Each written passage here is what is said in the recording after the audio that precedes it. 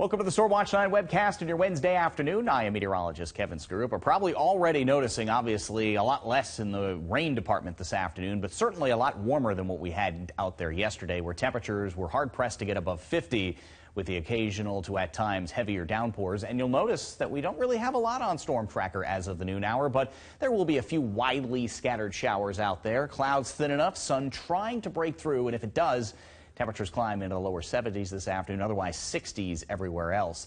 We do have an area of low pressure that is expected to pass offshore later tonight, but will be close enough to provide more shower chances. Most of those after a couple of scattered showers later on this afternoon will start to build in around mid-evening tonight and will be around to start the day tomorrow before pulling away later into the morning and into the afternoon. But there could also be an additional thunder shower popping up later in the day. Similar scenario for us Friday. After a little bit of sunshine early, a few scattered showers or thunder showers pop up. We'll put the chance at around 30% on Friday afternoon.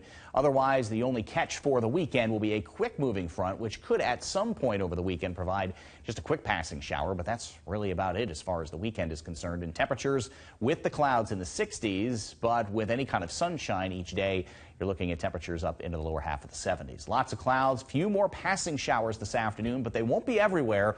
Mid 60s where you hang in the clouds to lower 70s with an hour or two of sunshine with a couple of sunny breaks.